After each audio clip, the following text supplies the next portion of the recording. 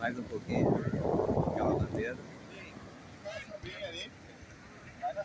Minha neta Agatha, Gabriel Cura, minha filha Gabriele. Estamos em Campestre. Está se. Tudo bem? Os meus amigos aqui. Tem um canal lá, tudo de bom para ter.